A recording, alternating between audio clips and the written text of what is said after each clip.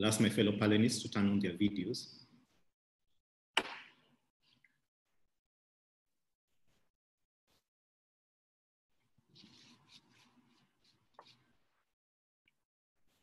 Okay, there we are. Great. Um, good evening, everybody, and good morning for those of you who are joining us from the US and other parts of the world. My name is Maxwell Okello. I'm the Chief Executive of the American Chamber of Commerce here in Kenya. This is the first forum in a series of uh, webinars, or a series of dialogues actually, that we'll be hosting on the potential Kenya-US free trade agreement. As you're aware, the talks kicked off sometime mid last month. And while that is strictly a government to government affair, the purpose of this series is for us as a private sector to engage amongst ourselves, spark dialogue, surface critical issues, and more importantly, create an understanding on the potential benefits and opportunities that a Kenya-US free trade agreement could accrue for various sectors of the Kenyan economy.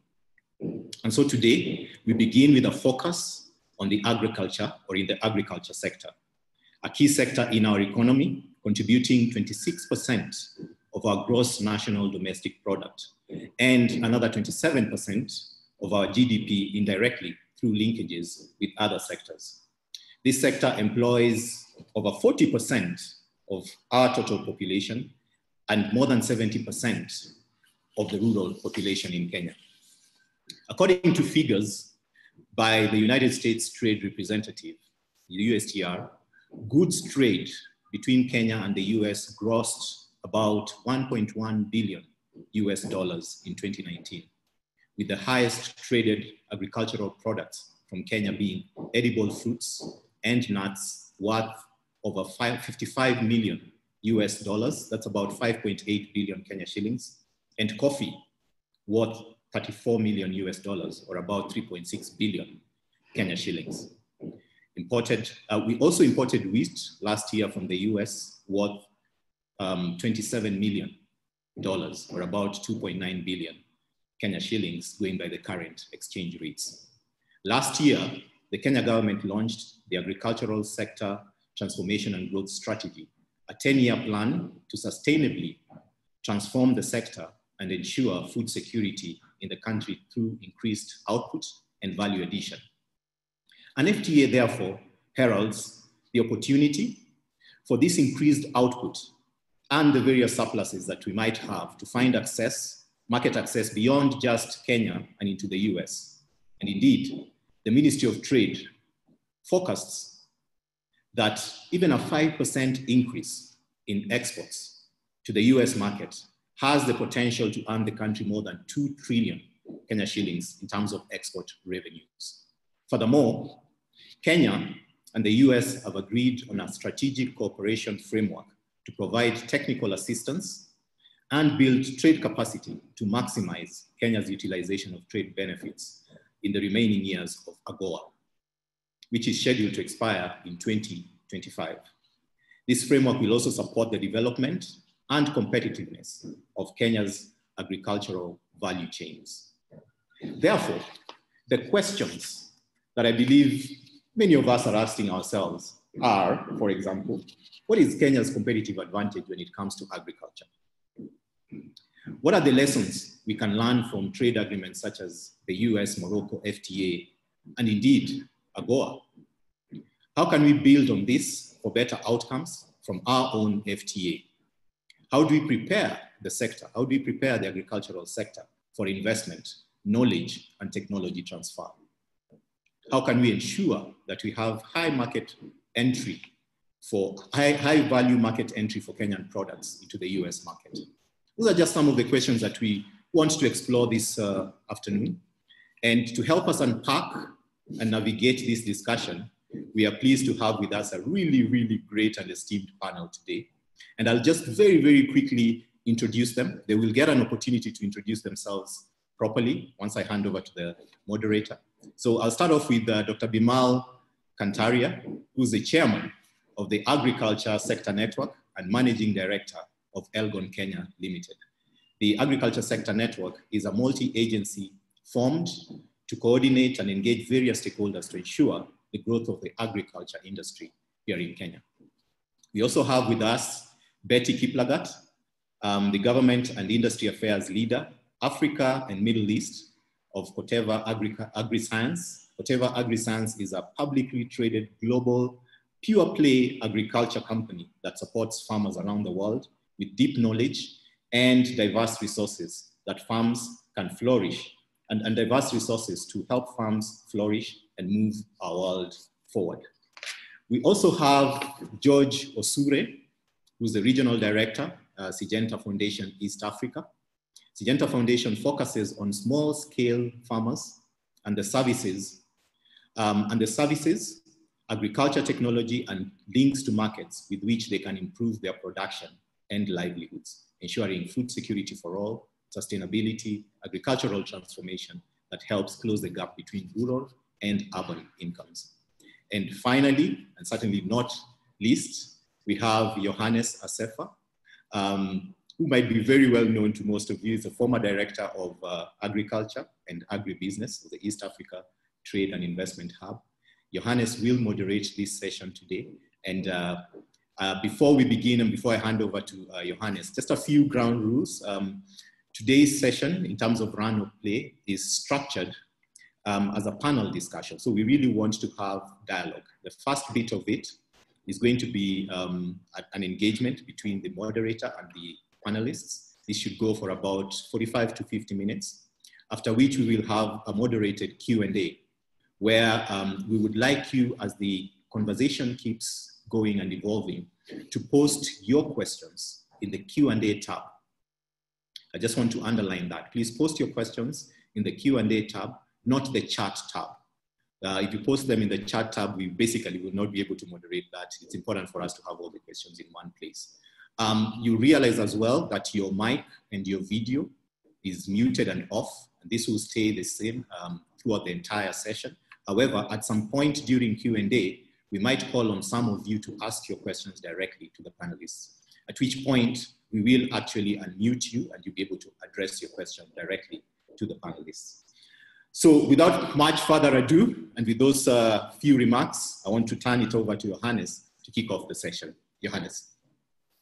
Uh, thank you, Maxwell. Uh, uh, good morning and good afternoon, everyone. Um, my name is Johannes Asefa, as uh, Maxwell um, mentioned earlier. I'll be moderating uh, today's panel discussion. Um, let me start by asking each of the panelists to introduce themselves. They've been um, introduced by Maxwell to some degree, but I would like them to talk about their position and their organization um, briefly. So let me start with uh, Ms. Uh, Kiplagat, and uh, we'll go on from there to uh, Dr. Kantaria and Mr. Osure. Thank you, Johannes. Um, and uh, looking forward to an exciting uh, discussion today. My name is Betty Kiplagat. I lead the government and industry affairs for Africa Middle East region for Corteva Agri, AgriScience. Um, is, uh, as you've been told, a pure play ag company um, that was listed on the New York Stock Exchange uh, last year, June. So we are one year in, and during this one year in, we've gone ahead and launched our sustainability goals, and I do hope that most of you will get an opportunity to look at them. Um, what is important is Corteva AgriScience has been in Kenya for over 20 years, um, trading under the PANA, Pioneer, and um, Dow agrochemical uh, products. So looking forward to an exciting uh, discussion. Thank you. Thank you, Betty. Hi, good afternoon, ladies and gentlemen. My name is uh, Bimal Kantaria. Uh, I'm the managing director of a company called Elgon Kenya Limited, which is uh, the largest agro inputs company in the, in the country. Um, we do chemicals and fertilizers, seeds, irrigation equipment. Uh, so companies like Corteva and Syngenta, we represent them in, in certain products in this country, including BASF and all these other multinationals. A lot of them are American-based uh, multinationals. We represent them here in Kenya. I'm also the, the chairman of an organization called the Agriculture Sector Network, which is the umbrella body of all the private sector agricultural um, institutions in Kenya, uh, in, including uh, BMOs and research and development agencies. As, uh, and we try to bring everybody together under one umbrella. I'm a director at Kenya Association Manufacturers for the last 20 odd years, and I'm also chairman at KAM for the agro-processing sector and the agriculture sector at KEPSA. And finally, I'm the, I'm the chairman of the EU EPAA, the European Partnership Agreement, Trade Agreement, uh, private sector uh, team that was representing Kenya in the EPA negotiations. And I'm really happy to be here. Thank you very much. Uh, thank you very much, Johannes and uh, fellow colleagues, the panelists. My name is George Osure, as you have told, and I work for the Syngenta Foundation East Africa, which is the representative office of the philanthropic arm of Syngenta, the company. Our work, as uh, mentioned earlier on, is transfer of technology and ensuring that pre-commercial farmers move into the commercial stage. We work with across every single organization and, and we have managed to partner with them successfully, right from the public service, individual companies, farmer groups, and even the regional economic blocks, working, for example, linking the ECOWAS and uh, COMESA. And uh, I'm happy to be here and I'm be glad to share with you some of our experience, which will, uh, we hope can contribute to a successful FTA, a beneficial one. Thank you, Johannes. Well, thank you, panelists, for introducing yourself. Um, as you see, we're already getting some questions, and some of them, uh, some questions have already been submitted to us in advance uh, in anticipation of this discussion. Um, some of the questions are uh, sort of elementary issues on how do I export, how do I use this, or um, what is the, the definition of this, or how does AGOA work, uh, how does the FTA work? Um, and, and so just to give the baseline understanding, I'll just say a few, few things about AGOA and FTA in general before we uh, get uh, started with uh, discussions. Um, AGOA, uh, as you may know, was enacted in 2000, uh, in the year 2000, and it was essentially designed to provide preferential duty treatment uh, to sub-Saharan African countries. There's an eligibility requirement. Currently, about 40 countries um, are eligible or are using AGOA in sub-Saharan Africa countries. Of course, Kenya is one of them. Um, the act has a sunset provision, so every so often it has to be reauthorized. The last reauthorization was in 2015. It was reauthorized for 10 years, which means uh, the uh, AGOA Act will end uh, uh by 2025. Um, AGOA in general seeks to promote uh, trade and investment between uh, Sub-Saharan Africa and the US and promotes economic growth, development, poverty reduction, democracy, the rule of law, and stability. Um, so far in the last 20 years, AGOA has provided lots of opportunities for Sub-Saharan African countries. Uh, some of the achievements so far are the 350,000 direct uh, jobs created and the 1 million indirect jobs created. Uh, about 100,000 jobs created in the US alone through these trade uh, arrangements. In, in 2019, the AGOA plus GSP, the Generalized Services uh, Systems of Preference uh, Arrangement, which is another layer of duty-free mechanism, um, the Sub-Saharan Africa alone uh, was able to export about $8.4 billion worth of uh, goods, um, about 55% of it being oil. Um, the largest AGOA exporting countries in Sub-Saharan Africa are Nigeria, number one, mostly oil, uh, with about $3.1 billion. South Africa, the second was $2 billion, uh, mostly vehicle, nuts, uh, vehicle parts and wine. Um, Angola is number three, again, mostly oil, 605 million. And Kenya is number four um, at 518 million. And Kenya's uh, AGOA exports uh, mostly constitute apparel, macadamia nuts, uh, and uh, cut flowers, and a few other things. Um, that's generally AGOA. And so when AGOA was initially designed, uh, you know, AGOA is just a one-way preferential treatment, uh, like uh, everything but arms uh, for the Europeans, to allow developing countries access to these rich uh, developed markets AGOA with the US and EBA with uh, Europe. Uh, but it is um, has requirements and has sunset provisions, and the program could end at any time. So that has affected the ability of investors uh, uh to make long-term capital investments.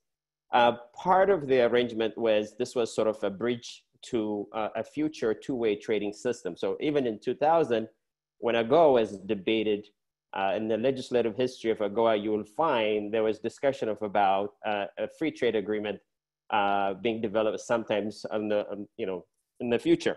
And the 2015 reauthorization explicitly also talked about um, or asking the administration and USTR to prepare and to plan for uh, an FTA scenario uh, before this reauthorization ends. So uh, this, is, this is where we are. As a result of those historical and legislative prerogatives, we are at the cusp of starting an FTA uh, free trade uh, agreement uh, with Africa, with Sub-Saharan Africa. And Kenya has been selected as the first test country, a model country for the first free trade agreement negotiation. Now, both countries have set out uh, objectives, um, and those documents are available online. Uh, the USTR has published a set of objectives for the, uh, the FTA negotiation. The Kenyan government also has done the same. And just briefly quote some of the uh, priorities or objectives for the US uh, uh, government.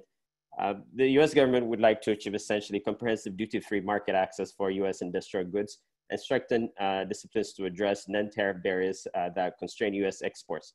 Um, there are a couple of other things like strong standards for protection and promoting um, IP rights, uh, go government procurement, transparency, political economy uh, issues, subsidies, and so on and so on. Uh, the Kenyan government also has um, outlined a number of objectives.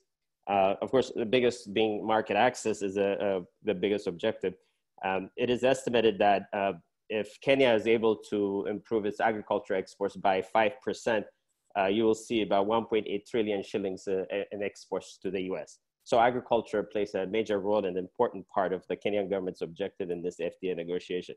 Um, as an overall strategy, the Kenyan government has indicated that um, the Kenya wants to sign an FTA agreement that, quote, uh, pays fidelity to Kenya's commitments to existing trade agreements such as the EAC, uh, the AfCFTA, and, and others.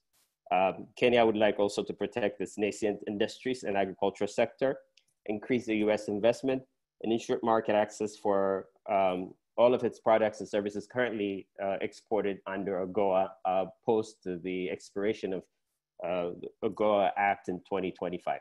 So with that sort of background note, um, I'd like to dive in quickly and start the discussion.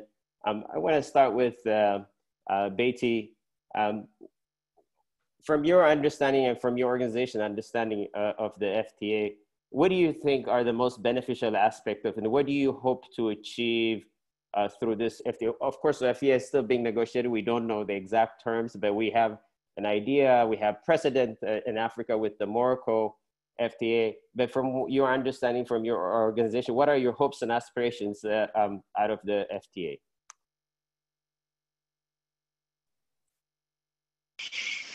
Um, and thank you for that. Um, I will start first by saying, of course, we must look at Kenya um, and the uh, uh role agriculture plays. Um, in in, uh, in agriculture plays the, a very vital role, and that must be underscored and during this um, FTA negotiations uh, because we understand that the Kenyan households um, are that are exclusively engaged in agriculture contribute to about 31.4% uh, to the reduction of rural poverty, and agriculture remains a key um, element for or important uh, player for all in Kenya. So for my organization, Corteva agri-science has we've been in the country for over 20 years and we want to continue to stay here. But what we are excited about the um, the fta is the issue of transpar- uh, transparency. We believe that the regulations will be very predictable they'll be transparent i will know there'll be defined timelines anti-counterfeit issues will be addressed of course intellectual property um, discussions will come to play. And intellectual property is very important um, for organizations like ourselves. But what I find very exciting about intellectual property um, that I think will also benefit Kenya is that the fact that small companies in Kenya that perhaps have never thought um, they could protect um, their plant breeders' rights or their patents, their trademarks, their copyrights, um, will benefit from this um, free trade agreement. And why do I say this? I say this uh, because because um, system will be revitalized. We already, I can see already, we're doing a review of the intellectual property regime in uh, Kenya, uh, trying to merge them to become one organization. Um, there'll be enforceability. I think for a long time, um, infringement of copyrights, infringement of trademarks of um, other IPs or even plant breeders' rights um, that enforcement has not been there. I think by uh, looking at the FTA, we will be adopting um, IP principles that um, are based on the WTO, that are also based on um, the US IP laws, and therefore there'll be a predictable and a transparent system that will benefit local scientists international organizations such as ourselves. So um, I think uh, I also see an access to customs uh, predictable customs, ease of movement of goods across borders, uh, be it uh, phytosanitary and phytosanitary requirements. So there'll be a whole regime of regulations that will be predictable, that will be transparent, I think will be very accessible to both parties across the globe, uh, across US and into Kenya and into the US. Uh, thank you, Betty. Uh, uh, Bimal, let me move to you. Um, perhaps from our panel, you are the, uh, the only indigenous uh, Kenyan company, uh, an organization that has been in business now for over 120 years, with now operations spanning six countries. Um, you, you sort of on this panel represent Kenyan businesses in a way, and what are the concerns or at least the opportunities people are looking at? so divide them into two looking at the opportunities as well as what might be areas of concern yeah so johanna so I, I so let me start off by saying this is this is not a uh, like a um, like AGOA or the EPA. It's not a preferential agreement. I think you mentioned that right at the beginning. It's a free trade agreement, so there is reciprocity on both sides which in, in our mind is a scary thought. Now let me tell you what we want. So, I, so you, I put you in the picture of where I'm coming from, let me tell you what we want as Kenyan companies or Kenyan farmers. We want preferential access to the, the American market. Zero tariffs and zero quotas is, is the most important. Uh, we will, secondly, we want is we want a phased reduction of tariffs into Kenyan market. Now, why I, why I say that because in my introduction I said this is a FTA. Um, so somehow we have to find the political will in this one. We don't want large American farmers dumping their chicken legs into our Kenyan market. It'll kill our livestock straight away. So we want a phased reduction of tariffs into the Kenyan market. Unfortunately, the objective document you mentioned earlier on that's available on the website says there's reciprocity. So the American market open up, we have opened up our Kenyan market, which is not what we want as a, as a Kenyan company. So we need to find a, balance where, of course, America is such a huge economy, uh, and Kenya is being relatively young. We need to find a phased balance between the, the two. We need to have concrete financial commitments of investment and trade into Kenya. We understand from that object, that document you talked about, that the Americans, you want to use Kenya as a launching pad into Africa, which is fine, but we don't want to be a trading post. We want Americans come and invest hard dollars feet on the ground. We want them to put money in the country, increase investment into a Kenyan agriculture, increase trade. We want capacity building. Um, you know, we have the American agriculture industry is very strong. I mean, you have amazing data information technology. That's the stuff we want in this country. We are, we, we, we are good, but we can get better and we need American help in getting some of these technologies into, into this country, including capacity building. We want people to come into this country helping us with agriculture. We talk about subsidies. Uh, you know, it's controversial to say, but of course, American farmers are highly subsidized, uh, and Kenyan farmers are not. In fact, our country, for, for the size we have, we have very little subsidy programs happening to the Kenyan farmer. The Americans are complete opposites. So we need, if you want to export to our country, we want to make sure that the, unsubsidized farmers are allowed into Kenya. How can we compete with subsidy, uh, you know, subsidy-backed farmers coming into our country? We can never compete. So we need some sort of equality in that. Uh, no dumping. Dumping is a big problem in our markets. Uh, you know, if you look at, again, I mentioned wheat, you've got, you've got seriously big wheat farmers out there. Uh, and, and for you to export to our country at, at very cheap rates it's very simple. I mean, uh, and you have a whole bunch of, you know, financial incentives to export. That's what worries us a lot.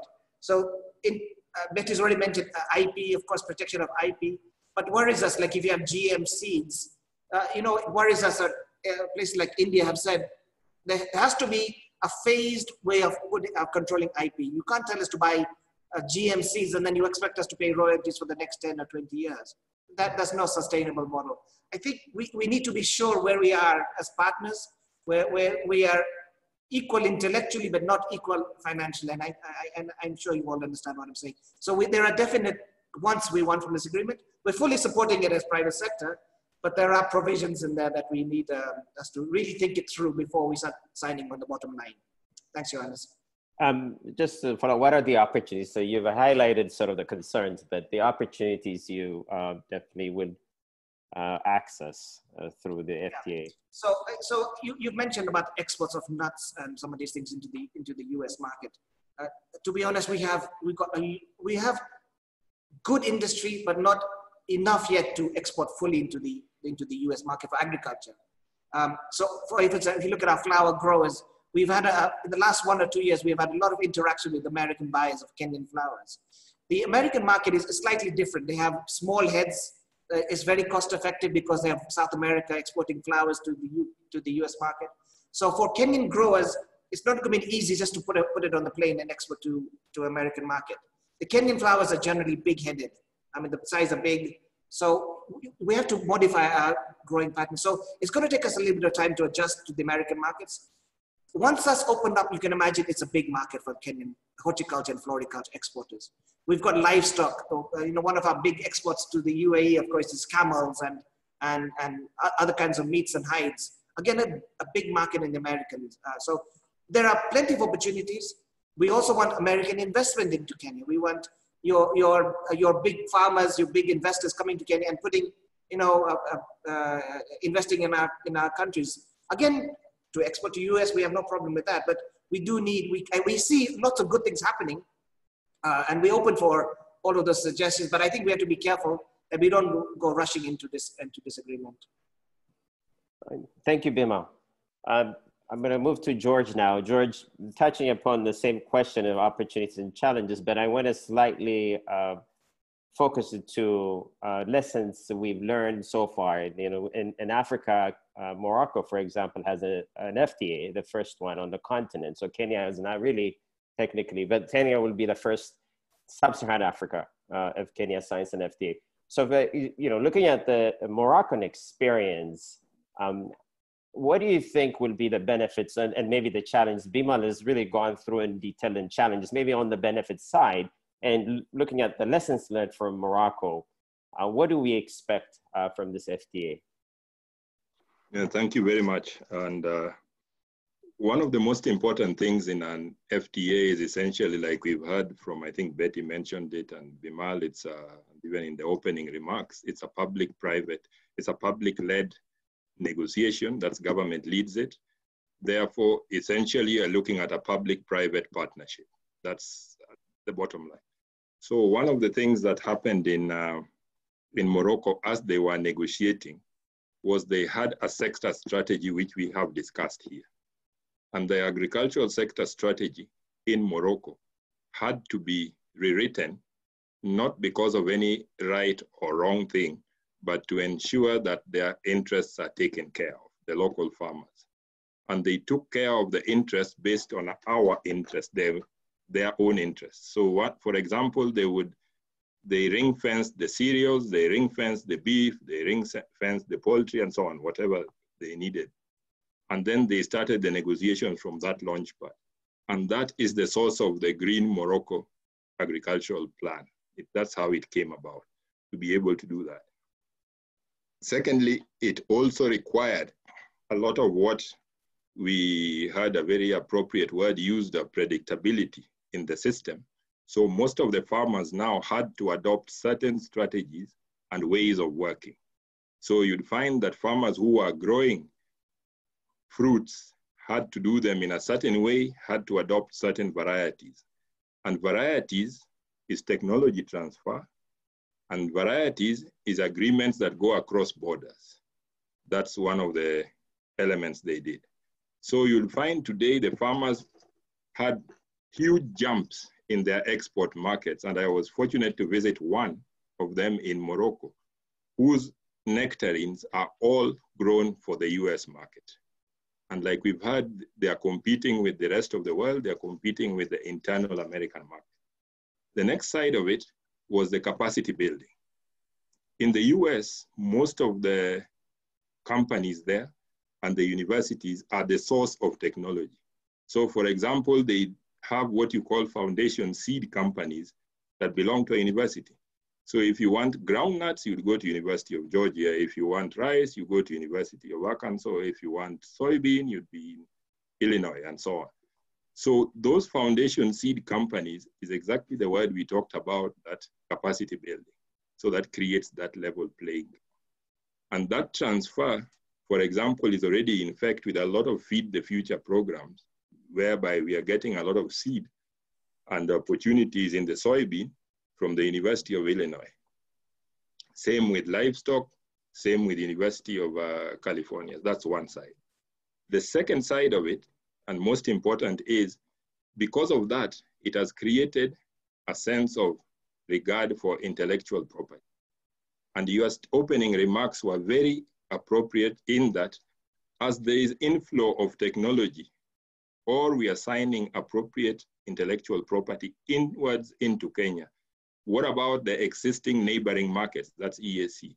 What about COMESA agreements? What about the Africa Trade Agreement and so on? So that is where I think the, it's appropriate. The public service leads it. It's appropriate. We look at the longer term part of it. So yes, we'll eventually have to change a bit of our strategy. Thank you.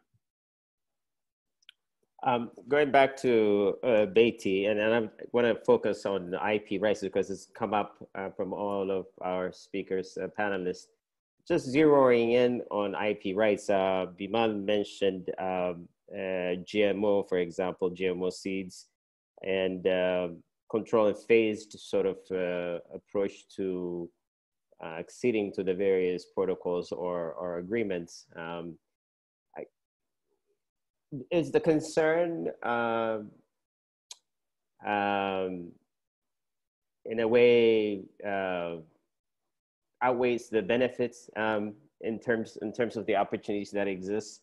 Um, do you do you think the the the IP potentials will somehow outweigh the the, the concerns uh, that might be there? And so to ha- have a value uh, discussion in terms of uh, the pros and cons of what could happen with the IP rights and what could lead to more investment or, uh, or, or less investment, um, whether this will have an actual net um, value add in terms of Kenya's ability to grow its agriculture, feed itself and feed its neighbors, and be able to very uh, competitive agriculture producing. What, what's the IP role in this space? Maybe I I said too much, but I, I hope you understand what I was trying to say.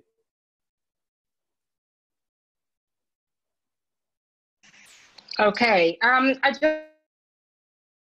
just want to say, first of all, um, a, a harmonized intellectuality environment um, gives everybody a level playing field.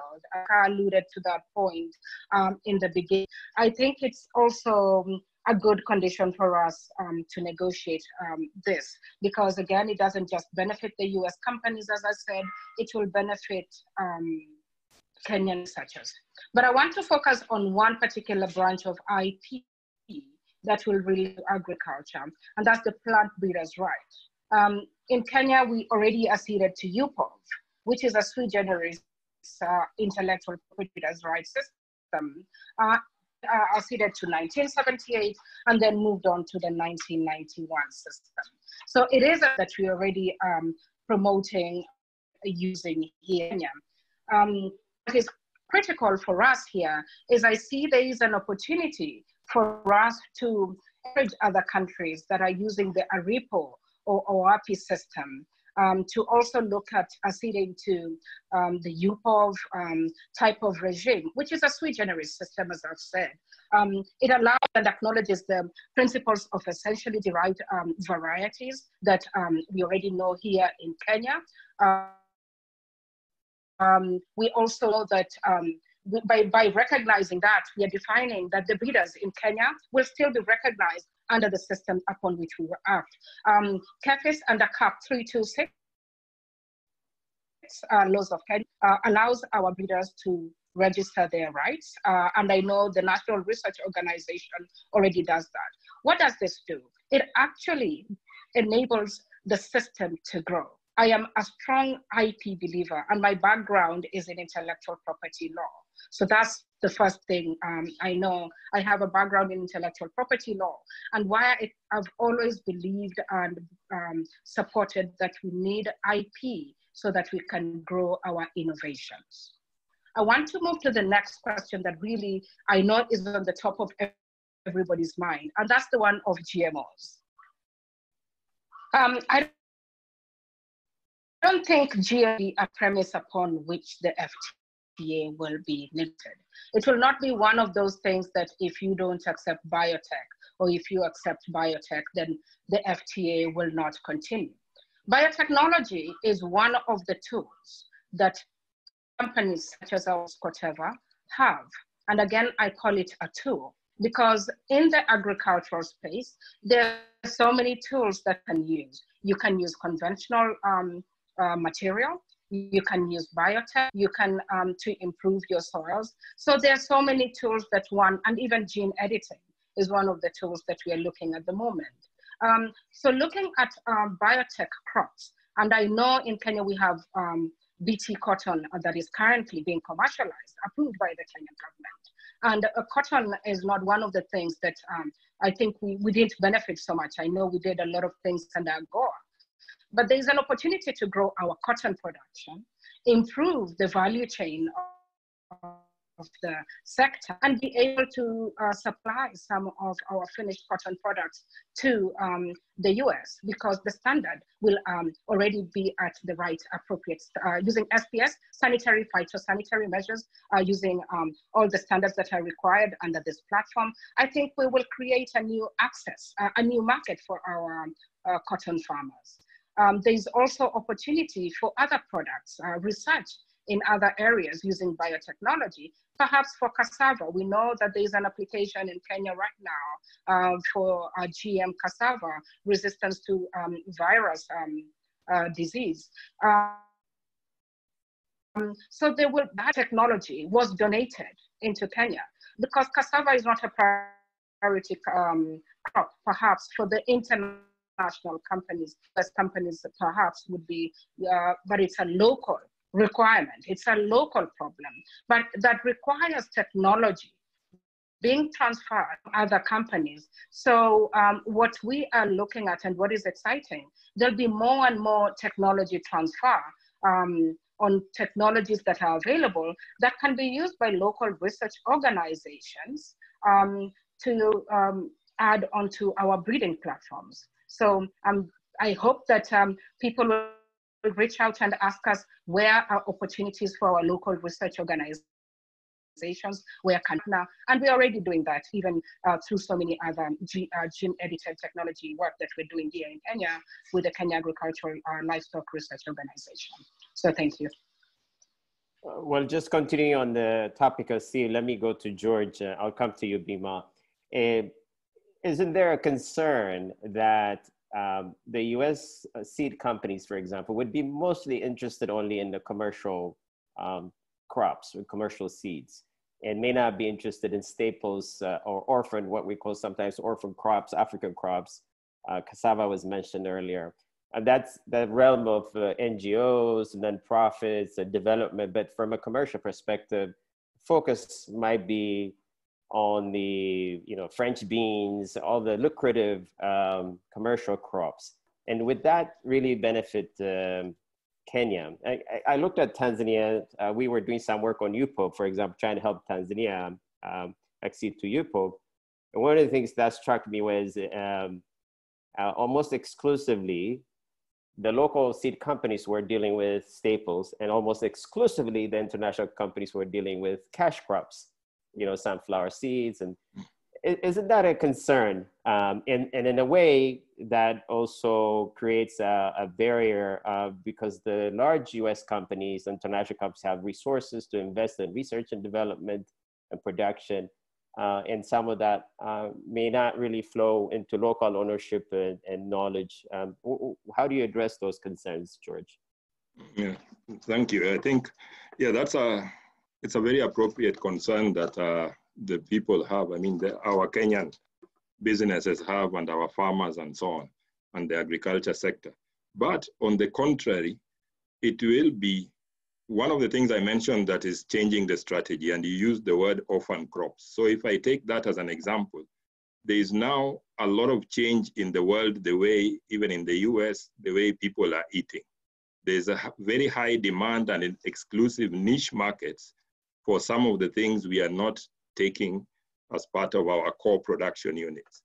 So for example, what will happen on the day somebody asks you for pigeon peas or for cow peas or for dolichos, which we commonly know in Kenya as njahe. Those are the foods now that are being ground to feed into animal feeds and poultry feeds. We don't have the adequate quantities of seed. So among those kind of activities, those are some of the elements which we have seen that there is now demand growing even locally here. And we need to strengthen that capacity and use that speciality. That's one side of the story.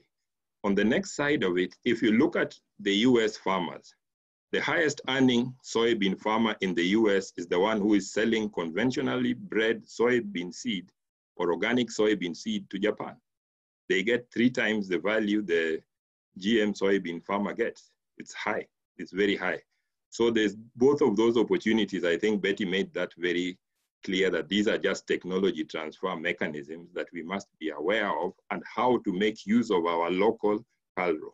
So in that respect, what I mentioned is that the seed unit or the Kenya Agricultural Livestock Research Unit is the, will be a very key and transformative organization towards effecting the benefits to the local farmers in the local businesses and local farmers because KALRO deals with both livestock and agriculture. So both of those are intertwined with their legal processes and whatever the and, and so on. So I think still there's opportunities and those are the negotiations that I mentioned that a lot of these organizations all had ring fenced, like in Morocco, they ring fenced their cereal side of it and slowly opened it up once they had built the capacity. So capacity building, very key word, predictability, very key word intellectual property, very key. So I think, thank you. Uh, thank you. Now, Bimal, let me come back to you. Um, the flip side of, uh, well, the concerns you raised earlier, excellent uh, list of concerns.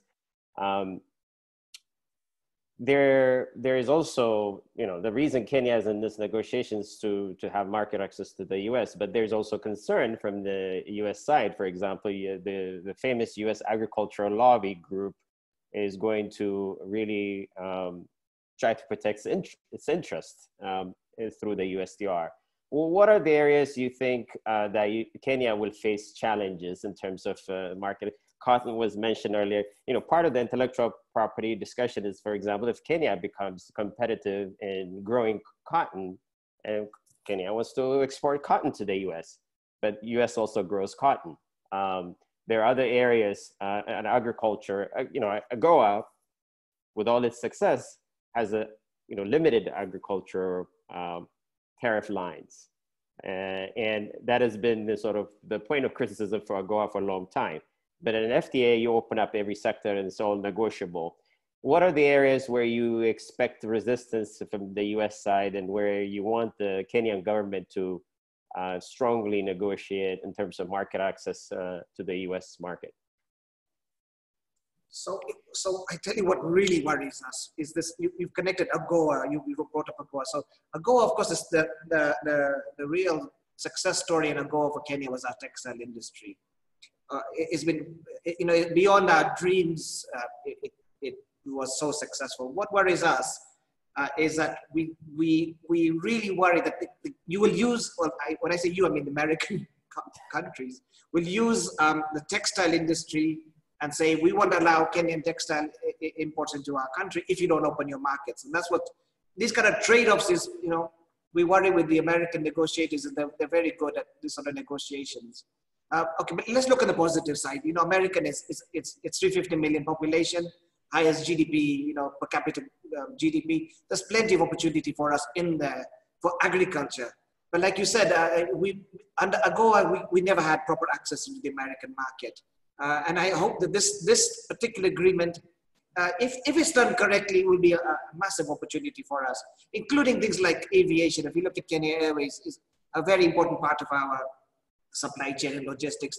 And we were very happy a couple of years ago when Kenya Airways was allowed access into, I think it was at one of the airports, Florida or, or wherever, I can't remember, New York airport. So I think some of these, some of these things are very important. If we broaden the picture a little bit, we want opportunities in tourism and other things. But I suppose those are also critical part of the whole big picture of, of this FTA. The other sectors that are not part of AGOA, I think we need to be included in into this one. So, so there are big opportunities. We want your tourists to come to Kenya. We want your, uh, your, your big farmers to come and plant in this country. So there are plenty of good stuff happening. Uh, and I think it can happen. And, and to be honest, we, we, we met, um, we met the government, Kenyan government officials on Monday, the trade team, we met them under KEPSA umbrella. And I, I have to admit, we have a, a, very capable guy in the name of, uh, you know, PS Ambassador Weru. He's, he's, very switched on under the leadership of CS Betty Maina. Uh, and they, they met us uh, and they, they, they, took us through the whole process of negotiation. Um, not in detail of the actual thing, because that's a confidential agreement between government to government. But they did tell us that you know private sector will be fully participating in, in the discussions in their side, in the government, Kenya government side. And they wanted to be much more private sector driven. So we've, we've put in our, our position papers to government. We, we've, we've created one on ASNET. We've got a very strong technical team and as ASNET. We're putting the position paper in there to tell them what is our opportunity. What do we want? What do we hope from this agreement? But I, I, I want to emphasize we, the Kenyan government team is very capable under CS Maina and Professor Weru.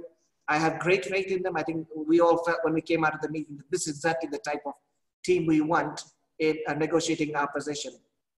Again, for us is new. Uh, these kind of FTAs are new for us, and I think we have to build capacity in the Kenyan system. But uh, if, done correctly, I think we have great opportunity in, in, the US markets. It's a hugely rich market. You know, there are a great deal of um, uh, consumers who can use our stuff, bring your tourists into our country. So I, I don't want to be overly negative, um, Johannes. I want to say agriculture is one of the, the, the, the, uh, the areas we want to look at. We want to look at aviation, tourism, textiles, but we, you know, we, we've heard lots of things about American negotiators, which sort of worries a little bit.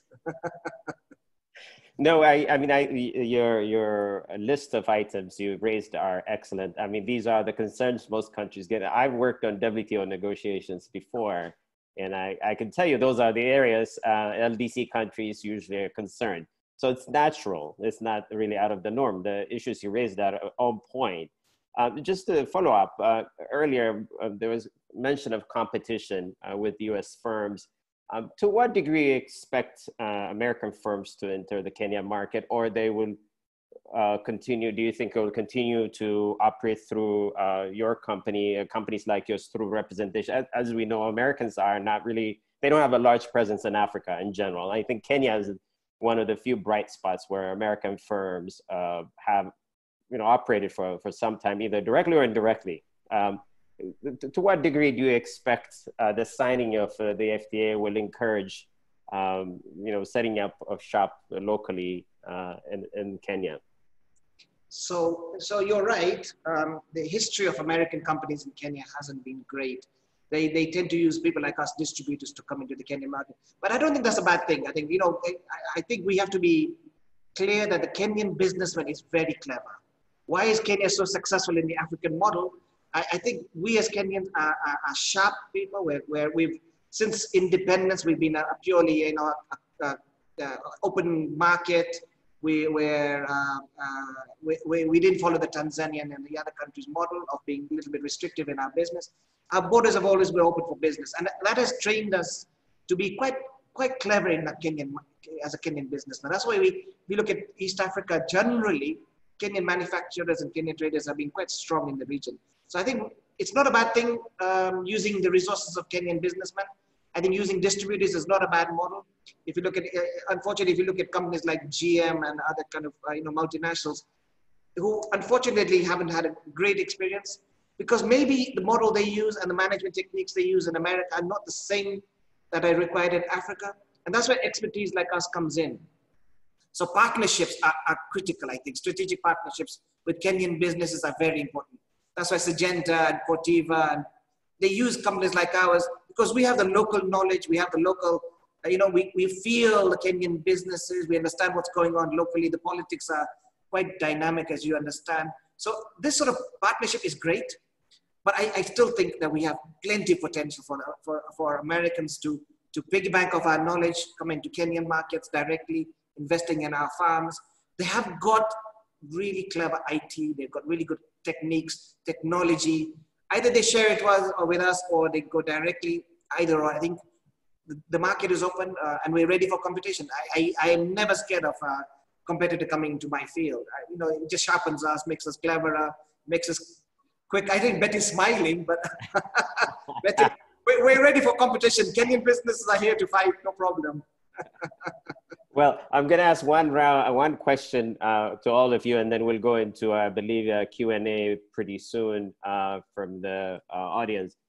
Um, I'll, I'll start with you, Bimal. How do you see uh, the FTA, the Kenya-US, uh, or the US-Kenya FTA affecting your regional markets, and then the EAC, for example? is that a net plus challenges? where do you see it going? And I'll ask the same with Betty and George as well. Yeah, so you know, I, I think we can use the, the American knowledge uh, and, and influence much stronger. If you look at countries like Ethiopia, which are very closed off, uh, they don't want any sort of, you know, um, it's, it's, mainly an Ethiopian, you know, country which hasn't opened up yet. Some of the other regional markets are uh, still quite closed. If we can, if we can do some synergies with, you know, using the Kenyan businesses, bringing American investment to Kenyan businesses, and then using the American influence of Eritrea and, and Ethiopia and opening up these markets for us, I think that'll be a win-win for everybody. I think, you know, sometimes uh, as Kenyans, we may have limited influence in some of these countries and using the American strength and the strategic knowledge, I think that'll be great to open up some of these markets. So I think that it's win-win for everybody. I'm not, I'm not saying that um, uh, we, we're, we're worried or anything like that. I just think we do it correctly we get the right investment in the country. And then for us as Kenyan businessmen, we want to export to EAC. EAC and, and, and Central and uh, Africa is, is already our biggest single market. If you combine them, they're, they're really important for all of us as Kenyan businesses and manufacturers. And I think using technology from America, uh, housing it in Kenya, we can expand our, our, our, reach much more stronger. And I think if you look, if you talk to our, our counterparts in EAC, they probably think we're the America of, of, of their area. So you know, we have to be a little bit, we have to be a little bit sensitive on, on certain issues, but we're, we're ready. We want investors, we want partnership, we want all that stuff. We, we open our doors. Thank you. Thank you. Uh, Betty, uh, again, regional expansion. Um, please, Betty. Yes, uh, I, I look at the FTA just uh, like other policy, where sometimes we might a bit of a win, a bit of a lose. And then the EAC space, I look at it, will have a bit of a in the beginning, perhaps, um, because I haven't seen it generating a lot of excitement around or near our neighbors. But I also see it as an opportunity um, for us to um, make ourselves as leaders in this region um, within, um, because based on the budget um, technology transfer that will be available based on the improved um, systems that will be, ha- will be having predictable, open, and transparent. Um, attract um, more investor side. Uh, I think the other is um, see that there is an opportunity to come and engage with Kenya to see what are the learnings. Does this mean that we stop our cooperations and engagements with the EAC? No, at all. Uh, they still are very important trading blocks for us. Um, they are important. That is a separate agreement. We are never going to pull away from it.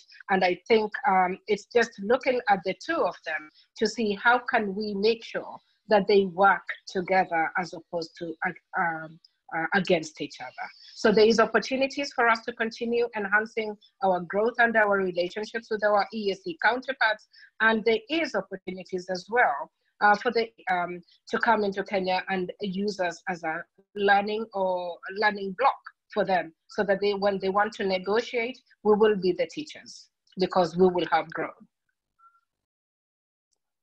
George. Thank you. Thank you, Beth. Yeah, I think uh, I won't go too much into the rest of because I think it's very been very appropriately covered by my colleagues. And what I would summarize it as is that the FTA is potentially a, a knowledge pipeline. And the, the way I look at any knowledge pipeline or the way we look at it is that it's how much of it do you convert into revenue? How much of it do you convert into employment? How much of it do you convert into additional national capacity? So a very good example is we have a road now that has been built right into the Kenyan northern border, into past Marsabit, into, uh, into Ethiopia. That road has created new opportunities and you'll find that we are able now to grow wheat in Marsabit and track them down with the new railway. So there's a lot of things from Nanyuki coming into Nairobi. So there's a new opening up and that those are the kind of knowledge pipelines that the farmers now we need to go into those untapped areas to build into our national resource base. That's how I would transfer it and look at it. Thank you. Okay, thank you. Um, I'll just start uh, randomly picking up questions. Um, I think there's one that's uh, controversial but interesting. Um, Jonathan uh, Kimwigi uh, asks, uh, it says, Mr. Bimal, I saw in the media that uh, America wants their milk in Kenya. Isn't this going to kill the dairy industry? Uh, Bimal, that's for you. Yeah, I, I, would be, I would, you know, I would be cautious on these kind of media reports, and you know, I, I think media likes, you know, a little bit of sensationalism to sell newspapers. Uh, no, Kenyan milk industry is a strong industry. Don't be scared of anybody, my friends. You know, if you look at some of the big companies, Brookside and KCC and uh, in the region. We're, we're, we're, not, we're not small players in the region. We're, we're, we're big players. We understand the Kenyan farmer. We know the trends. It'll be, it'll be very hard for an outsider to come and penetrate the Kenyan milk market just like that. And then don't forget, we're not sleeping as Kenyan businessmen. We're here to fight. Uh, don't tell me an American will come into the Kenyan market and take our markets just like that without, you know, Brookside putting up a really decent fight against them. So let's not underestimate Kenyan businesses. And, and, and competition is competition. Uh, let's be open to it. If they come, it'll just sharpen the Kenyan businesses. We'll get cleverer. We'll bring you know our costs down. Uh, as long as the government is supporting us in making you know uh, our pricing structure and cost structure reasonable, uh, I'm not worried. Let them come. We'll fight them on an equal basis. As long as not getting subsidized and all that sort of stuff that we're worried about. On an equal basis, we, we are, we're smart. We know our markets. We know our customers. We know our suppliers. Don't be worried. Don't be scared of anybody, guys.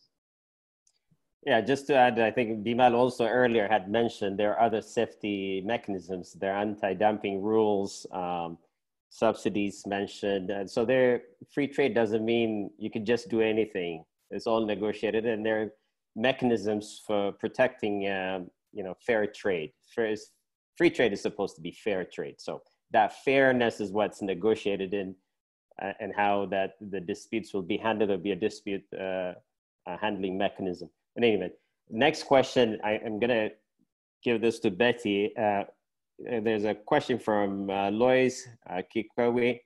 Uh, Dr. Lois, uh, what are the opportunities for tech transfer uh, under the FTA agreement? Can you just basically also define what uh, technology transfer and give an example and, and then the operate quickly, Betty? Thank you. Betty? Okay, yeah. So um, there are many opportunities for technology transfer. And what do we mean by technology transfer?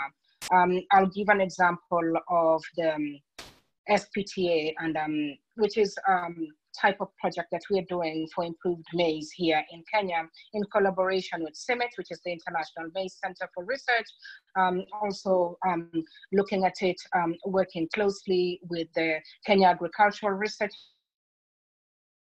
Institute. So what has been done essentially is we have donated some technologies, um, gene edited technologies introgressed into sorghum uh, here in Kenya so that um, the sorghums can be either resistant to drought and have improved um, yields. Um, that research is still ongoing. The collaboration for the technology transform is in um, between KALRO, uh, CIMMYT, and Corteva. So Corteva is donating its uh, philanthropic, through its philanthropic arm, donating uh, manpower, uh, donating knowledge, helping the local scientists understand how that technology can work, and making sure they're partnering so that project is owned locally. And I see not just through the SPTA, and I, I see it through just other research opportunities. Um, NACOSTI, for instance, looking for partnerships where we are able to transform some information, share knowledge, and um, if you look at the WEMA project, the Water Efficient Maize for Africa um, uh, project uh, here in Africa, that was a donation of technology um, from one organization um, then in the US um, to uh, Kenya. So that is research that is ongoing. What would happen once the results of WEMA go through, um, the technology will also be given to local seed companies who would be able to sell the seed uh, here in Kenya. And I think eventually, if all goes well, um, there'll be different seed companies with new technologies on their shelves and um, new knowledge um, on how to integrate a gene or even a technology into any of their varieties. So technology transfer will not only be part of this, uh, but also exists at the moment. But I think it will be more vibrant. It will be uh, more available and people will be able to reach out to different organizations, such as George mentioned. So not just Corteva, there's the universities, um, and I hope um, to see that uh, we will grow our research uh, through those technology transfer opportunities. Of course, especially because our IP system will be vibrant and will be very transparent as well. Thank you. Thank you, Betty. Uh, next question is for George. Uh, there's a question from Kelvin uh, Kisa um, agricultural labeling is more advanced in America than in Kenya.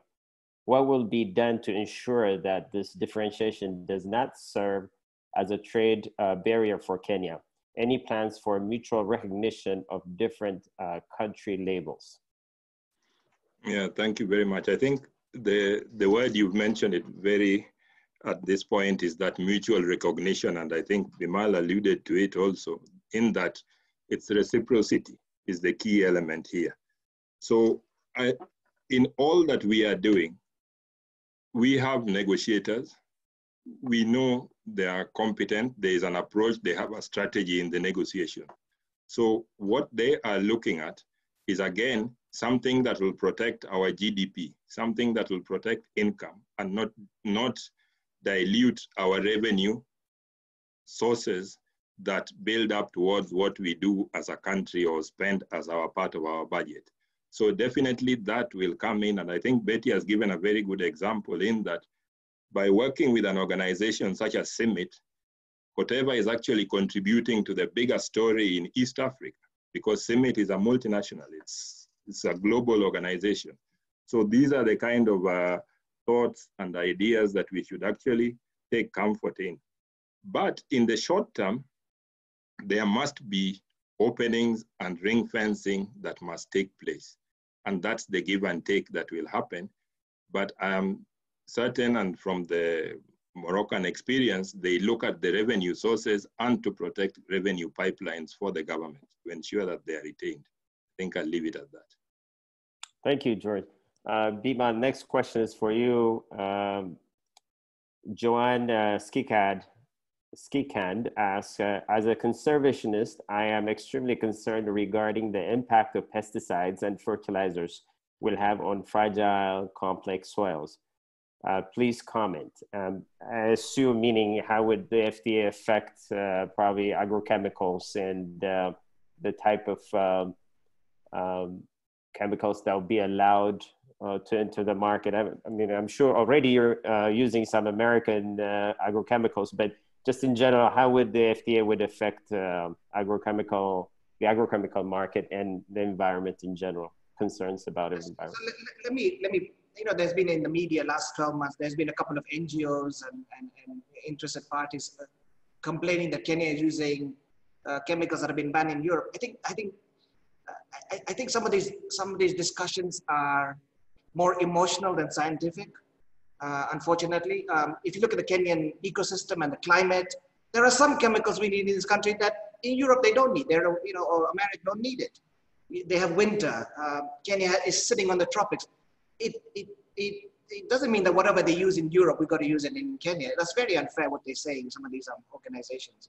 If you look at our, our government, uh, the organization called the Pest Control Board, PCPB, it is one of the best regulatory bodies in East and Central Africa. If you look at the stuff, how they approve a chemical is a three-year testing process in this country. You can't just walk into the Kenyan market and introduce a new chemical. PCPB is one of the toughest regulators in this country. They have a three-year on-field trial. After that, they approve Kenyan chemicals. So I think we have to be scientific in our, in our thinking. Um, this debate went to the Senate, it went to Parliament, and the Kenyan government was, was in a way quite upset that how can, you know, uh, other organizations outside this country heavily criticize the way we regulate our own country.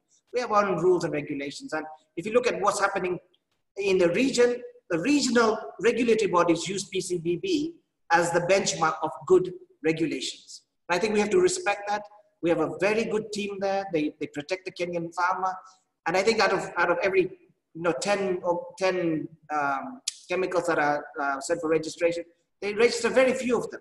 A lot of them they reject as well because they don't comply with the Kenyan standards. And every year, PCPB has increased the standards. So now we have batch five analysis and a whole bunch of stuff there. So I think we, we as a Kenyan chemical industry, we're, we're very secure. I want to tell Kenyan consumer, our chemicals are extremely good chemicals and, and, and government is tough. We can't just mess around with them. If you look at the fertilizer, I give you an example. I think the Kenyan uh, consumption of fertilizer is one of the lowest in the world. Compare, I think we use two kilos per acre per year. The Americans use 19 or 20, some silly figure. If you compare the two, really, I mean, we're nowhere near where we should be. And, and I think using fertilizers just improves our productivity. We, we now are moving from the bulk fertilizers like the DAP into more sophisticated ones like the NPKs. We have a number of um, blending factories in Kenya. My company, Elgon Kenya, is also now doing NPK stuff. So we're also getting wiser in, in, in the Kenyan field. So our, our per capita consumption of fertilizer is still one of the lowest in the world. Fertilizers adds nutrients to the soil, and we're getting cleverer. We're using much more sophisticated fertilizers in this country so that our yields come up. But please, guys, you know, use a scientific uh, um, method of, of, of, of discussion and, and, less emotional because you just scare the Kenyan wananchi. You know, you keep saying oh, our food is unsafe. It's just unfair on the Kenyan farmer. What happens is that Kenyan farmers, you don't buy our Kenyan produce, our farmers are suffering. The Kenyan government, the Ministry of Agriculture and PCB are one of the finest organizations I know in this country in terms of protecting the Kenyan farmer. Let's trust our government, guys. Thank you.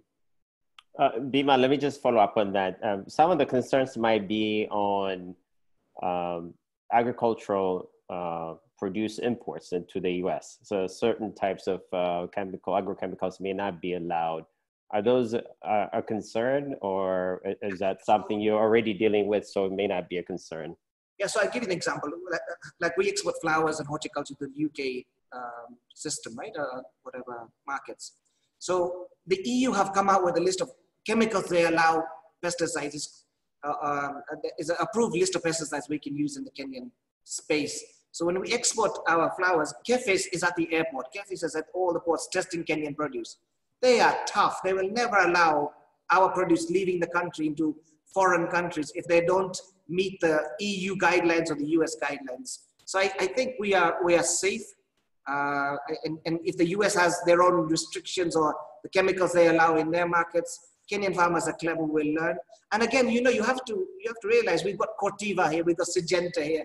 We've got the American companies sitting in Kenya who we distribute for, and they usually are the guys who will then educate the Kenyan farmers using companies like mine where we're going to spend a lot of time with the Kenyan farmers educating which chemicals to use, if it's for an export market and for the local market. So I think those safeguards are in place, and then we'll obviously learn the new stuff the American consumer wants. And again, we had to, you know, we had to to do business. We'll do it correctly. All right, one more question for you. Sorry, um, this is a, a, switch to more uh, capacity building. Um, what sort of capacity? This is from James Mbugua. Uh, the question is, what sort of capacity uh, would you like to see the Kenyan negotiation team have based on uh, our previous negotiations with the EU, EU EPA?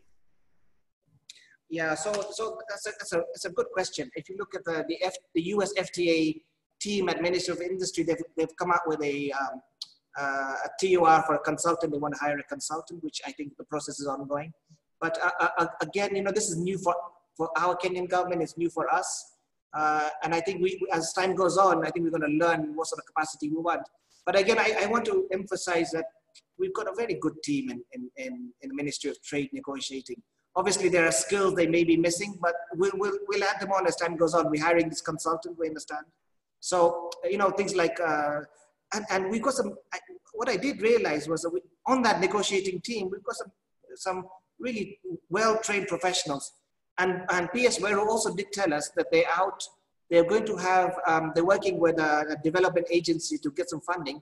They want to hire a whole bunch of, of, of interns with specific negotiating skills on specific issues with this FTA. So I think the government is conscious that they have, they have some lack skills and they're putting the team together uh, quite quickly. So I was, I was quite encouraged that they're open-minded on bringing capacity on board.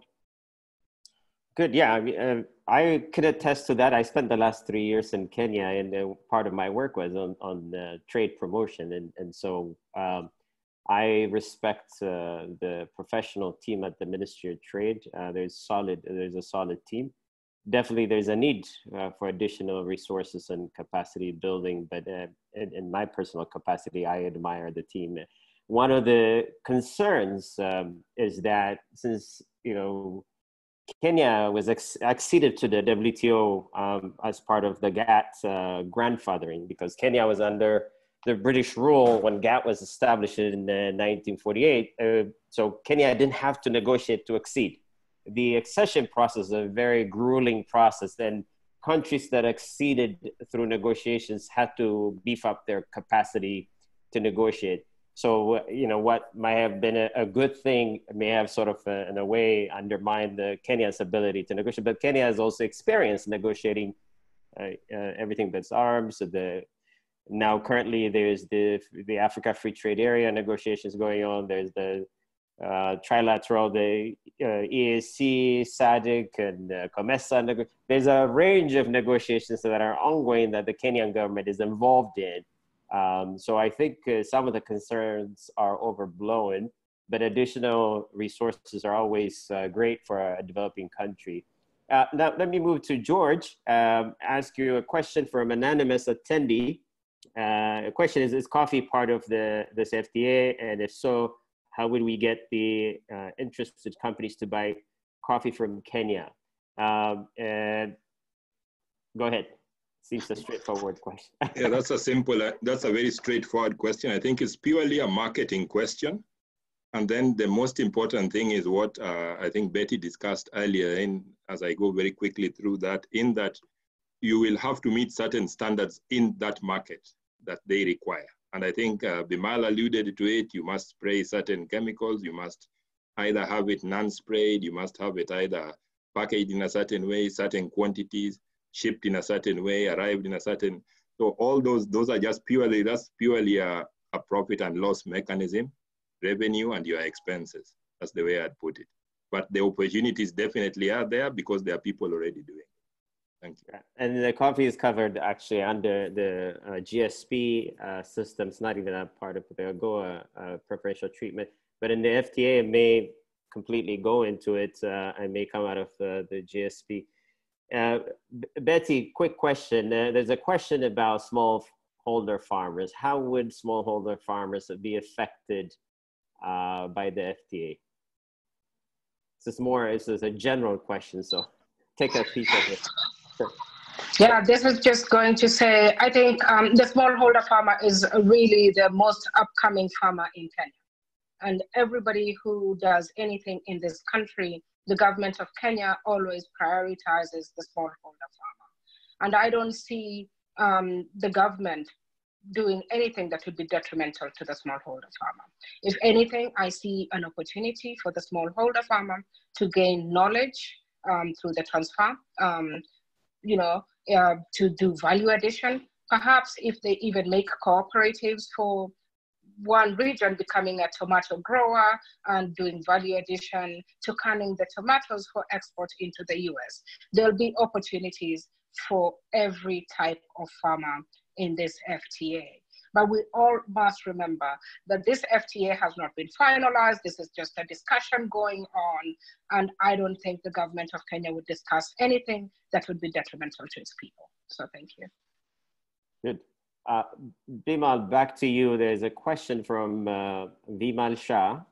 And it is, uh, it says, uh, what is Kenya going to do on the raising of standards of its products that uh, it either grows or manufactures to meet the US standards, as that will be the non tariff barrier that will kick in when uh, implementing the FTA, as that is what they will block Kenyan exports unless we Kenya Kenyans uh, meet their standards. Um, this would be a competitive advantage to Kenya to start doing uh, even now proactively. So this is uh, um, levelized. So in, generally, I guess the question is um, uh, meeting the quality and quantity requirements of the market, and what what what do Kenyan businesses need to do now uh, in anticipation of uh, the market access the FTA will provide? Yeah, so I mean, you know, honestly, Vimal Shah is my my guru and my mentor. I, uh, the man I look up to a lot is is Vimal. You know, uh, so, uh, so he's right. Huh? I, I, think we, we're going to up our game if we want to get into the US market. US market is one of the most competitive in the world. It's not going to be a walk in the, in the park for us to get in that market. And we have to up our game in every way. Uh, if you look at what, how, why was the Kenyan textile uh, manufacturer so successful in, in the US market? Because if the level of investment the Kenyan manufacturer did, people like Jas Bedi, amount of investment they did in their factories, raising their standards was, you know, it was impressive. And I think for Kenyan people, Kenyan businesses, for us to access the US market, we have to be smart. We have to be, we have to invest in our factories. Uh, and, and George said the same thing that as, as we learn what the standards are, we'll have to learn what, what the American consumer wants. But I, I look at the textile industry. If they were successful in Kenya, everybody else, we, we have it in us. I, I'm not scared, but we have to learn. It's going to take us a couple of years to learn. And that's why we need capacity building. We need people to teach us what the American consumer wants, what the consumer eats, what kind of flowers he likes. And this is the type of stuff we got, we're going to have to learn over the next couple of years. But again, let's not underestimate the American consumer. He can buy from wherever he wants in the world, right? I mean, you have the Chinese sitting out there who are just about, you know, who are so clever. Um, and for us, Kenyan businessmen, to get into the American market is going to be difficult. And that's why my worry is this is an FTA. It's not a preferential agreement. If it was a preferential agreement with agriculture Indians, they would have supported us through, you know, indirectly, you know, to get us out there and, and given us time to, to build ourselves up. But because it's an FTA, that worries me a little bit more. If it was a uh, you know preferential agreement, I would have been much happier. But anyway, it is what it is, and we just have to, as Kenyan businesses, up our game, make sure that uh, you know we understand the, the needs of the consumer in America. We need to have more trade, you know, delegations going to America, learning their systems uh, and, and then build our capacities internally. Uh, it's going to take some time. I, I don't think it's going to be an easy one, to be honest. They're very clever people in America. They're consumers, they're sophisticated, for sure. Mm-hmm. Uh, George, let me ask the same question. Since you've uh, visited Morocco and uh, looked at how Morocco has adapted to its FTA, how did Morocco uh, up its game in terms of uh, meeting the quantity and quality requirements of the US market? Yeah, yeah, thank you very much. I think basically one thing was that uh, they had a very well structured negotiating team, experienced people, like, I mean, as you'd expect in such a country. But most importantly was that they had an agricultural strategy that had some force behind it, something running behind it and implementing aspects on it at particular points. So that's why I mentioned that the green plan, the, the green Morocco plan, one of its key objectives, if you look at it, was to ensure you, you improve the rural livelihood, the quality of life in the rural areas so that it could attract farmers, it could attract investment to those farmers. So today, you'll, you'll go into a particular area and the, the same way we do with real estate, whereby we put together electrical power lines, we put in water supply, roads and everything. They put in water, they put in the, the roads to deliver to the port and so on. So that's why organizations such as OCP have got quick turnaround times for huge volumes of deliveries across Africa and in the world. That's one side of it. Then the second side, they identified their strengths very early. The weather and the seasonality. In agriculture, the key to revenue is seasonality. When there's too much of something, the prices are depressed. When there's enough of something, the prices are medium.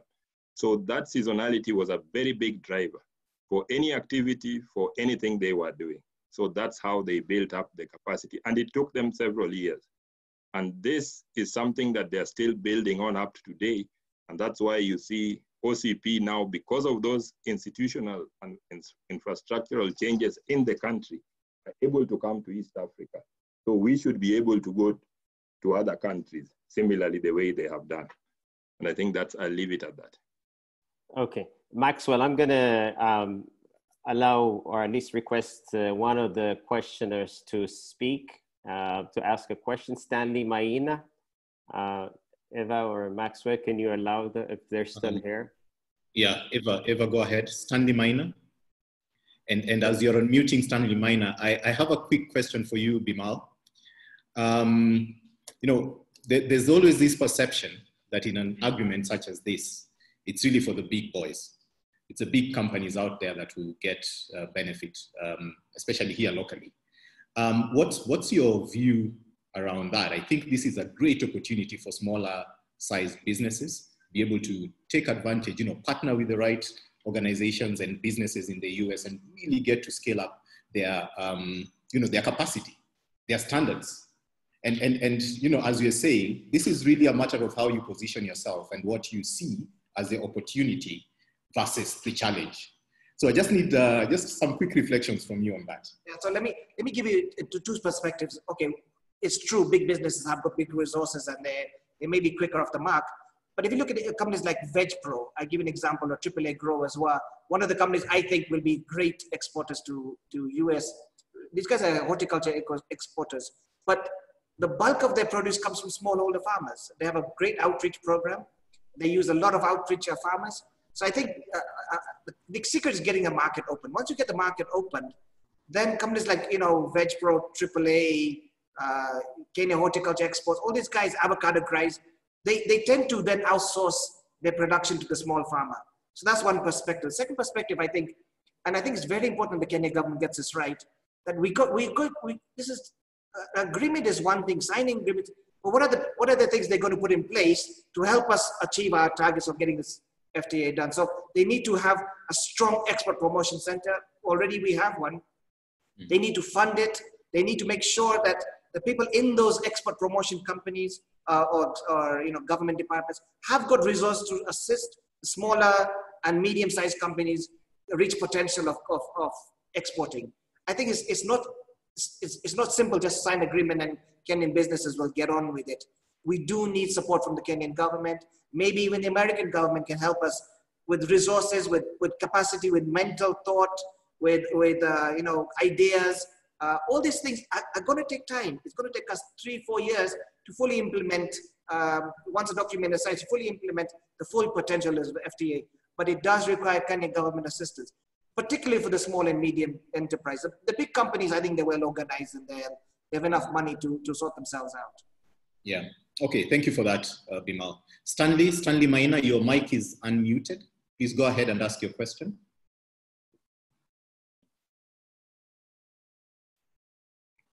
Stanley, just unmute your mic and ask your question if you're still on the line. Okay. okay. You may, you may have dropped off. Yeah, just go ahead, yeah. Johannes. Yeah, I mean, his question is uh, uh again, I picked him because the, the theme is there. The several people uh, have brought up the question of subsidies. I know Bimal has uh, uh, mentioned it earlier, but the uh, the flip side of uh, the subsidies concern is there's also Kenyan subsidies, as small as it may be. I think there's a new reform uh, on agricultural subsidies for for both the pre and post harvest subsidies, um, but the, the, the concern is how would the subsidies, the Kenya government's ability to provide subsidies in the future would be affected. Um, and then on the flip side, of course, Bimal has addressed it earlier, uh, American government subsidies for American uh, farmers. Um, but uh, Bimal, you, you can pick this up since you've already touched upon this issue before. Yeah, so you know, it's a highly controversial subject. If you look at the American document that has been published on the objectives, they say that they will reduce subsidies and tariffs, but they have to get Congress permission. So I mean, you know, we're dealing with some really sophisticated, clever people against us. Um, and, the, and the American farmer is subsidized, is heavily subsidized, I mean, indirectly or directly. So uh, we have to be a little bit cautious that um, we don't, uh, you know, whatever comes into the Kenyan market, we've got to have systems in place to check where the original produce came from.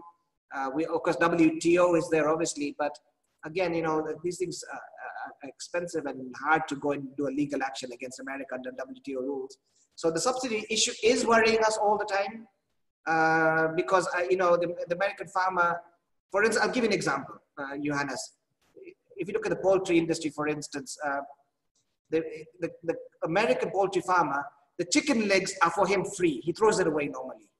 So we, you know, for him to export to Kenyan market is very simple.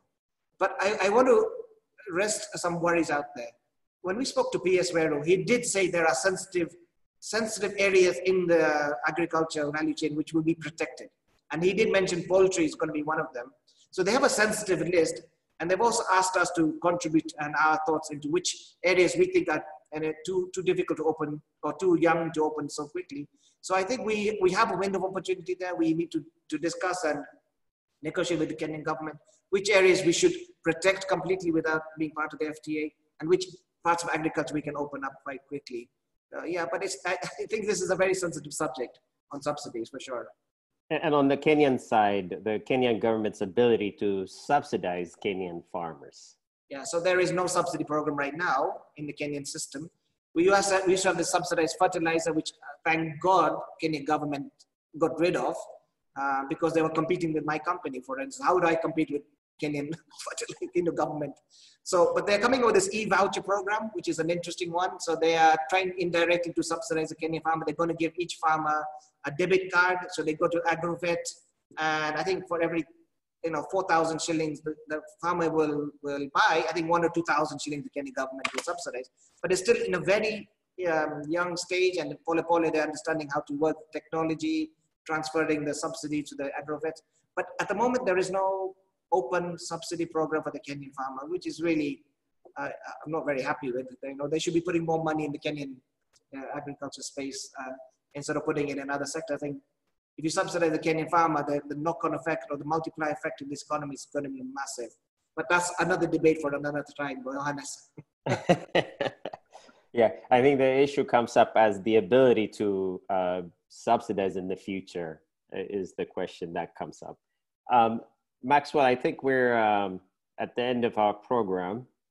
And so I hand over uh, the mic back to you. Thank you, everyone, for this lively and uh, educating session. Thank you.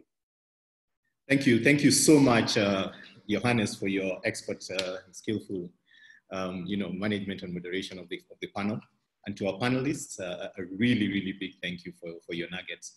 Um, before we close and I give my closing remarks, I just want to invite um, our attendees to take a quick poll. It's coming up right now on your screen. It will only take 30 seconds. 30 seconds. Uh, it's one question only. One question only, 30 seconds, and we'll tell you the results of the poll just shortly. Um, Eva, you can hear me, please.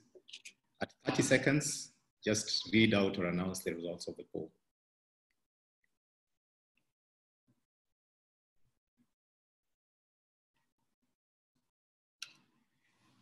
It's filling, filling. Let's see, it's still at, uh, it's not moving.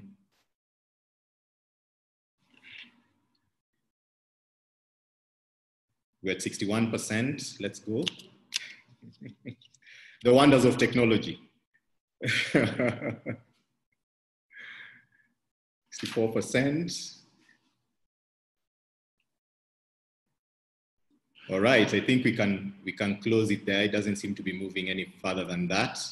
Um, so yeah, from what you can see, the question is, how optimistic are you about agriculture sector's prospects with the potential free trade area?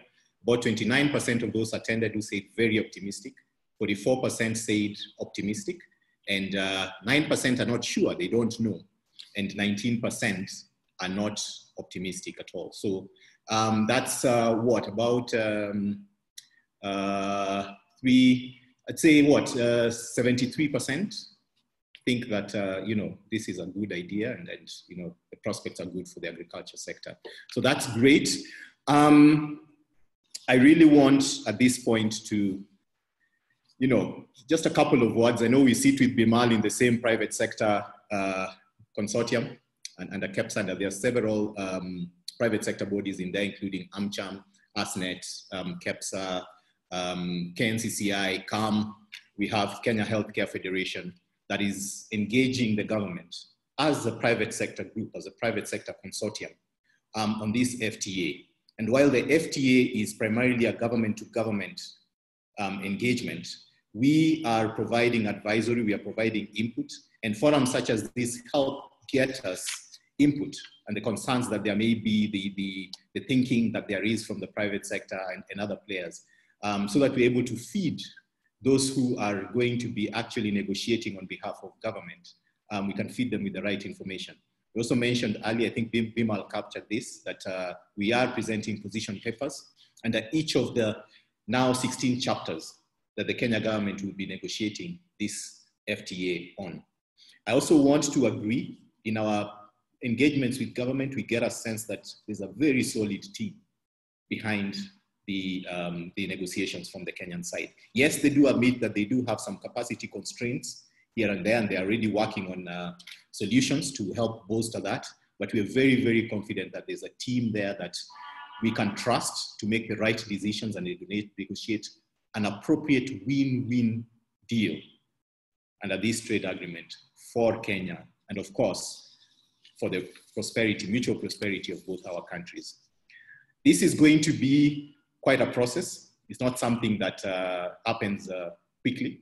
It's going to take at least a year plus. In fact, in most cases, it's usually a three-year process. But we believe that with the commitment that we are seeing from both governments to kick this forward and make sure that uh, you know they're able to close it in the shortest period possible, we will end up with a trade agreement uh, before too long. So with those few remarks, I want to really um, thank our panel. Um, I want to thank Betty Corteva, thank you so much for your insights. Thank you, George, for your great insights. Thank you, Bimal, um, for sharing your nuggets of wisdom. And of course, a big thank you, special thank you to Johannes, joining us early your morning from the US to moderate this uh, very, very important panel. As we mentioned, this is the first of a series. The next one will be on SMEs. We're actually going to engage SMEs and have a similar discussion what are the opportunities? What are the challenges? How can we prepare as SMEs to be able to take advantage of this FTA when it comes online? So I want to finally thank all those who took their time to join this um, webinar. We've had close to 200 people on the call. Um, it's been a great interactive session. I've been edified in this process and we hope that in your attendance, you're able to also learn a few things and you know, just this whole FTA um, conversation just be, starting to become a little more um, understandable. We are demystifying it. That, that's what we want to do. And so thank you very much for participating. As AmCham, we've put together an FTA information hub that can be found on our website. If you go to www.amcham, amcham that's dot co.ke slash forward slash FTA, you'll be able to get quite a number of resources there, including the various negotiating objectives, both from the US and the Kenyan side, um, the various press releases that, we, that have been given, and we'll keep updating this. so that you can get information as the uh, negotiations progress and information becomes available. So look, do look out for the FTAs that uh, FTA uh, webinars that are going to be coming up in the next couple of weeks. And with that, ladies and gentlemen, thank you all once again. Thank you, our panelists. Thank you, our participants. We've come to the end of our forum and have a good evening and a good day to you, Johannes. Thank you. Thank you. Thank you.